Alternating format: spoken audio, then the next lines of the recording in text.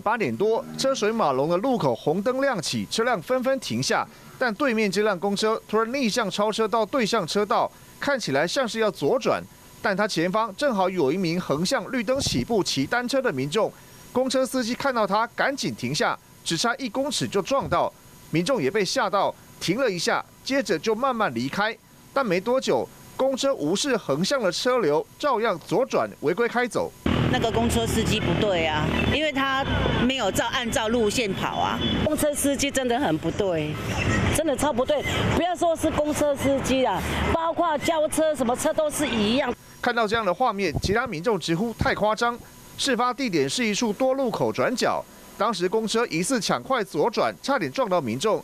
但公车业者强调，司机是为了闪避前方突然减速停等红灯的车辆，才会切进对向车道。那因为这样子看到他突然停下来，他未免碰撞，才把车头往左拉啦。但他有注意到旁边那个脚踏车骑士，啊，因为他就在那个违违法车道上，他就想说赶要等到车没有，赶快过去这样。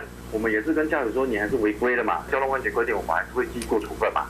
警方根据画面认定公车逆向闯红灯是事实，会依规定开罚。该公车逆向闯红灯已违反《道路交通管理处罚条例》，最高分别处新台币五千四百元及一千八百元罚款。